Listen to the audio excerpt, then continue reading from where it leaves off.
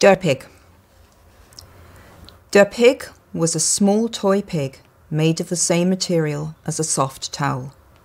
He had little plastic beans in his tummy, which made him fun to throw.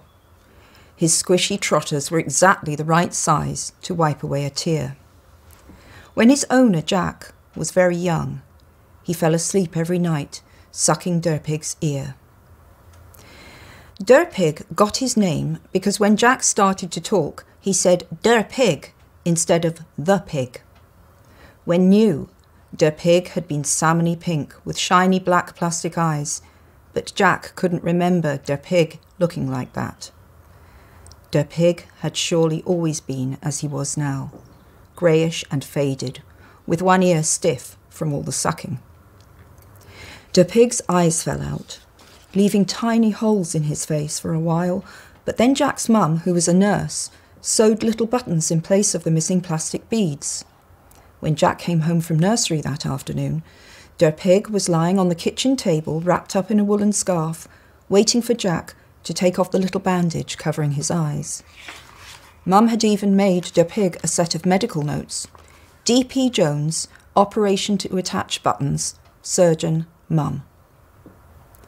After his eye operation, everyone started calling Dur Pig DP for short. From the time he was two years old, Jack would never go to bed without DP, which often caused problems, because when bedtime came, DP was usually nowhere to be found. Sometimes it took Mum and Dad a long time to find DP, who turned up in all kinds of places, hiding inside one of Dad's trainers or scrunched up in a flower pot. Why do you keep hiding him, Jack? Mum asked every time she found DP curled up in a kitchen drawer or hidden behind a sofa cushion. The answer was private, between Jack and DP.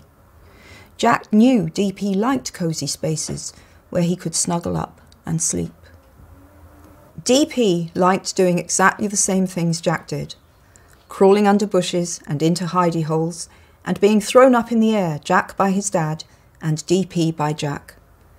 DP didn't mind getting dirty or being dropped accidentally in a puddle, as long as he and Jack were having fun together.